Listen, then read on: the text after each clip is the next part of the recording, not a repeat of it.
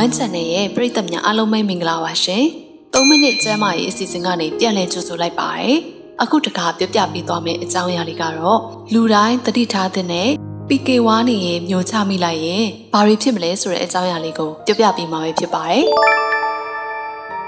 ဒီတော့အစီအစဉ်လေးမစခင်မှာကျမတို့ရဲ့ One Channel ကို Subscribe လုပ်ပေးခဲ့ပါအောင်ရှင်။အသစ်တင်တိုင်းသိရအောင်လို့လည်းဘေးနားကခေါင်းလောင်းလေးကိုနှိပ်ပေးခဲ့ပါအောင်နော်။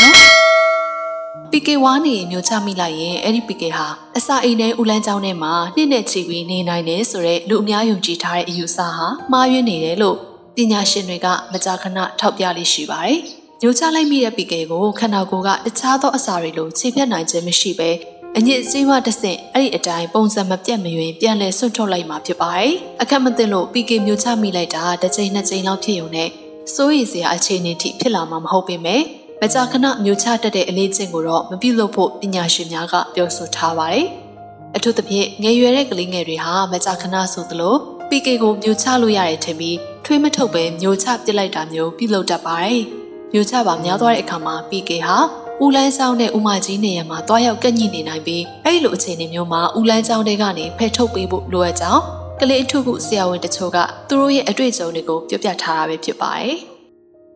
ဒါကတော့ PK1 နေမျိုးချမိလိုက်တယ်ဆိုရင်ဘာတွေဖြစ်မလဲဆိုတဲ့အကြောင်းအရာလေးကိုပြပြပေးခဲ့တာပဲဖြစ်ပါရဲ့ရှင်။အချိန်ပေးပြီးကြည့်ရှုခဲ့တဲ့အတွက်ပရိသတ်များကိုကျေးဇူးထိုးပဲတင်ပါတယ်။ One Channel ရဲ့ပရိသတ်များလည်းတာယာပြည့်ရွှင်တဲ့ဘဝတွေကိုပိုင်ဆိုင်နိုင်ကြပါစေ။